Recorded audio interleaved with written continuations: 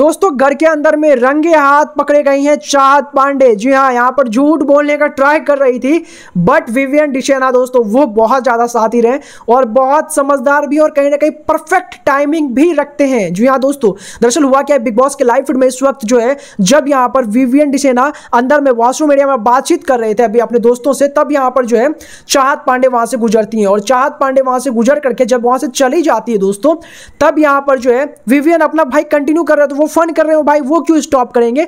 वो अपना कंटिन्यू कर रहे हैं, वो मज़े ले रहे हैं, भाई अपने लाइफ का मज़ा ले रहा है वो घर के अंदर। अब ऐसा लग रहा है भाई उसको मतलब उसने खेलना ही नहीं शुरू किया बेसिकली दोस्तों।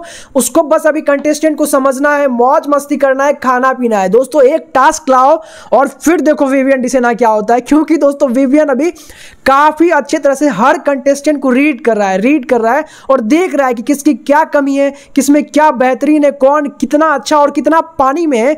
ये सब कुछ दोस्तों लिटरली यहाँ पे आपको बता दो कि विवियन डिशेना देख रहा है। और अभी ये चीज़ मालूम चल गया और पकड़ भी लिया उसने। भाई, रंगे हाथ पकड़ लिया। लिया दरअसल हुआ क्या कि अभी यहाँ पर जब विवियन जो है क्रॉस कर रहे थे, अभी क्या है कि वो जो गार्डन एरिया देखा है, वहाँ पर कुछ काउच वगैरह लगे हुए और लकड़ी वाला जो आपने देखा होगा, वो एक कुर्सी सा बैठा हुआ है।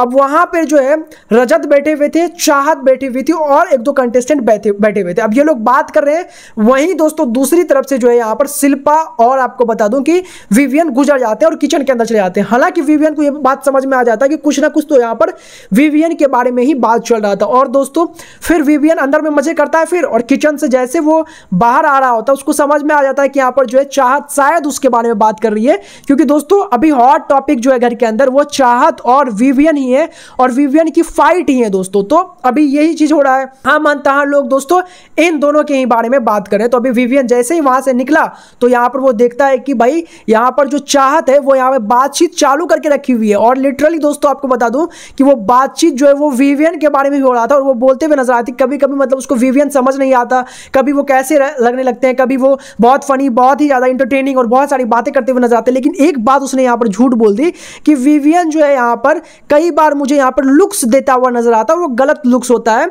मतलब गलत उस अंदाज में नहीं दोस्तों, गलत मतलब ऐसा कि वो शक करता है मुझ पर उसको मतलब किसी ना किसी चीज़ को लेकर के, मेरे को लेकर के एक गलत फहमी ऐसा लगता है। और कहीं ना कहीं वो मेरे को दूसरे लोगों के पास गलत साबित करने का भी ट्राई करता है अपने लुक्स के ज़रिए।